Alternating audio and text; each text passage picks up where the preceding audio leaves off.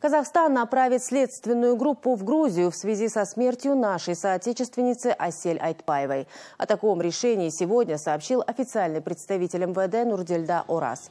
По его словам, полиция Нурсултана начала досудебное расследование по заявлению, поступившему от родителей казахстанки. Подозреваемый задержан и содержится в столичном изоляторе временного содержания.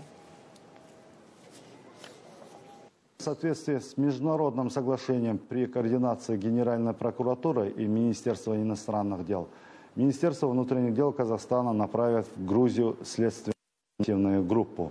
Ее задача изучить все обстоятельства произошедшего и обменяться информацией с грузинской стороной по данным нашего МИДа, 5 мая Асель Айтпаева выпала из окна на девятом этаже в Тбилиси.